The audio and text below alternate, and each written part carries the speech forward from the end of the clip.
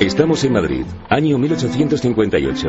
Se casa en la iglesia del Salvador y San Nicolás una pareja muy peculiar para la época.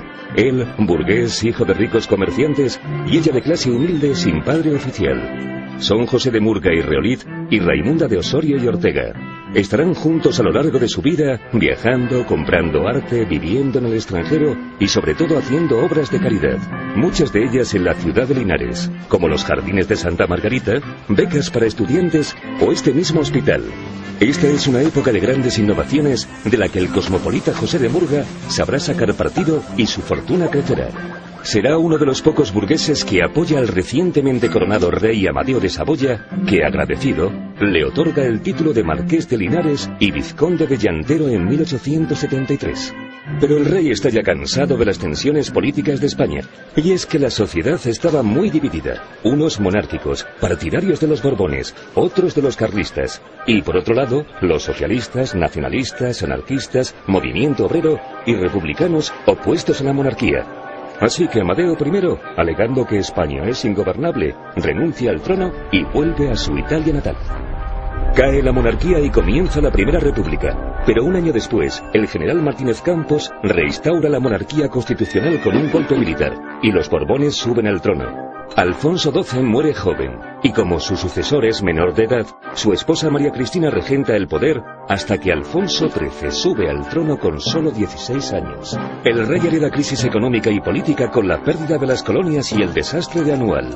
Ante tanta inestabilidad, decide apoyar a Primo de Rivera en un golpe de Estado que dará comienzo a una etapa de dictadura. Así que en menos de 30 años España tiene tres reyes diferentes y una regenta, dos golpes de Estado, una república y varios presidentes. Mientras tanto, en Linares y su estrenado marquesado sucedían también grandes cambios.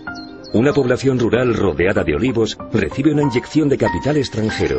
Ingleses, franceses y alemanes invierten en las minas de plomo con tecnología de vanguardia. El efecto en cadena es enorme.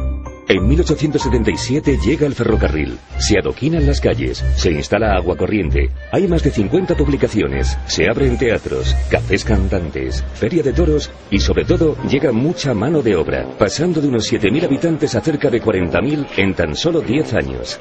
La estructura social también cambia. Hay una minoría de aristócratas y burgueses, una nueva clase profesional de intelectuales progresistas, la masa de obreros, operarios y mineros, y en último lugar los marginados y enfermos. Pero con los nuevos cambios llegan nuevas complicaciones. Cuando los marqueses ven las durísimas condiciones en que viven y trabajan los mineros, deciden construir lo que sería su última gran obra de caridad, el Hospital y Asilo de los Marqueses de Linares, con la iglesia como centro del edificio y la cripta donde están enterrados los marqueses actualmente.